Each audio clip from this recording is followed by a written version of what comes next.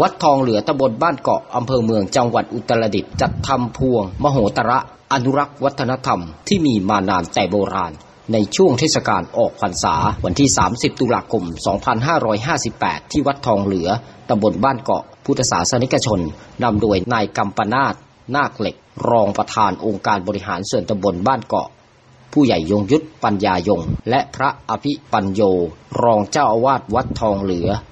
ร้อมด้วยคณะศรัทธาวัดทองเหลือ ได้ร่วมกันจัดทำพวง มโหตระโดยมีการนำดอกไม้แห้ง และดอกไม้สด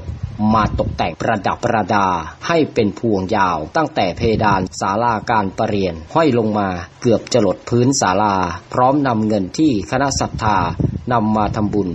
ห้อยเป็นพวง มโหตระจำนวน 13 พวง มูลค่าพวงละ 10,000 บาท ซึ่งทางวัดทองเหลือเป็นวัดที่มีพวงมโหตระมากกว่าวัดอื่นในจังหวัดอุตรดิตถ์ซึ่งเป็นประเพณีพวงมโหตระนั้น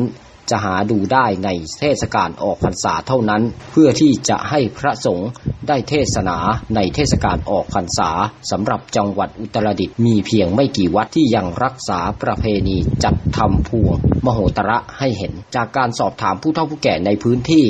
มีมากกว่า 70 ปี ต่างบอกว่าได้เห็นประเพณีการทำพวงมโหตระมาตั้งแต่เด็กๆ จนเริ่มจำความได้ และไม่ทราบว่าประเพณีนี้มีมานานเท่าใด